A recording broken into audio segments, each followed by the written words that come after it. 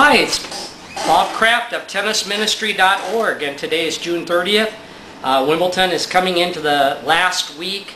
The finals are coming up. I actually was looking over the draw sheets today and seeing who I know who's still in the fi- in the tournament and praying for players and you know it's just not about praying for players that I know but also everybody really.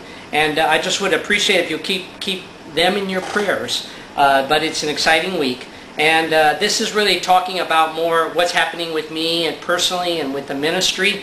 Uh, I've got some things that I'm working on with my family that are personal, and uh, I would appreciate your prayers. Uh, they involve my children, and you know, like everybody, uh, I have a family, and I have to live my life as a, as a husband and uh, also as a father.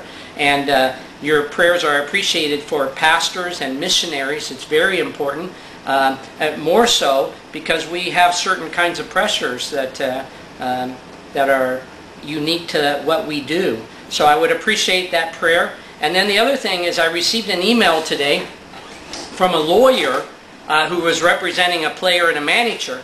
And basically the letter said uh, cease and desist from mentioning that player's name, uh, having contact, or something along those lines. And it was interesting because I really needed to pray uh, about freedom of speech, uh, you know, exactly what are, are the legalities, uh, talking about certain issues as they pertain to the Pro Tour.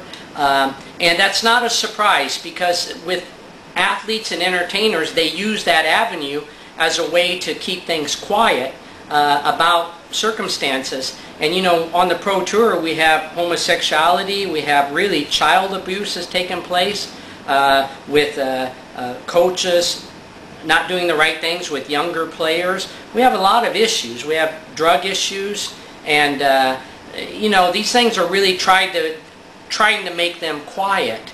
And this is one way, and this is one avenue. And uh, so I'm, I'm going to seek advice on this uh, and see where this goes. I'm not sure what I'm going to do yet, but anyway, your prayers would be appreciated on that because what uh, what people and also the devil wants is to keep everything quiet so that disruptions and and uh, damage can be done to people without people saying anything, and uh, that's not uh, what I feel is the right thing. So anyway, pray for me on that if you would. That's what's happening this week with Bob, and hopefully we'll see you next week. Thanks.